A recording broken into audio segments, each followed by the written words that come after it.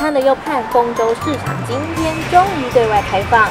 香港苹果记者跟港日吹水区版主莫拉桑一早进场体验，还没进去市场就要先排一條長長的隊伍。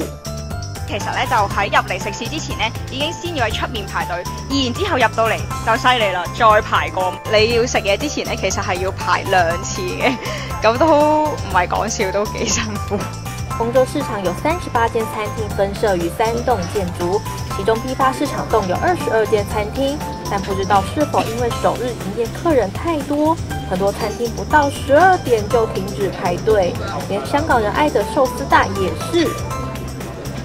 而家係誒日本時間嘅十二點幾啦，咁呢度只係開咗兩個幾鐘啦，但係壽司大已經擺咗呢個牌出嚟啦。就本日中了啊！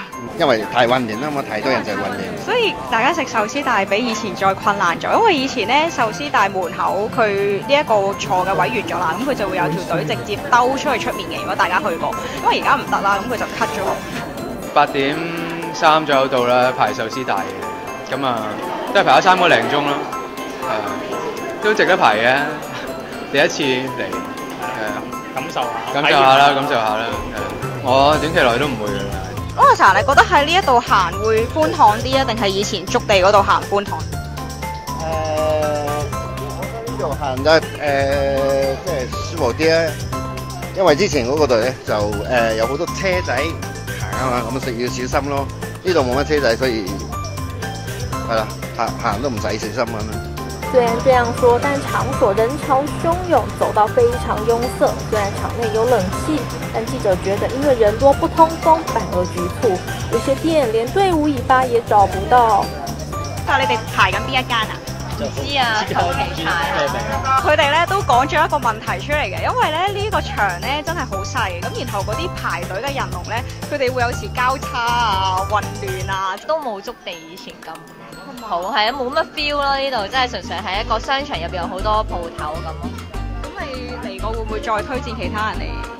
唔會咯，我築地仲有長外市場啊嘛，我寧願去嗰度，都唔想嚟。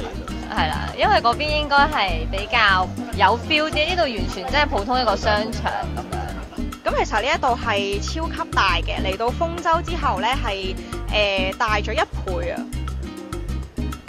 咁所以如果你要行晒咁多棟呢，其實都真係要花啲時間。